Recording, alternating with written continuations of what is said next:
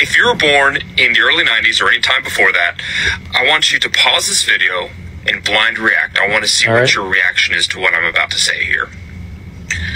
So, I'm a millennial. I was born in 1989. And those of us in the millennial generation, we grew up in an interesting time. We saw the transition from everything analog to everything digital. Yeah.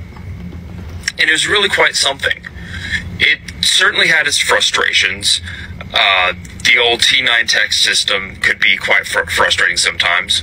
But we saw everything grow. But with this transition, we also saw things that we just kind of got frustrated by. And nothing could frustrate us more, I think, than the phrase, I just lost the game. Fuck you. Fuck you.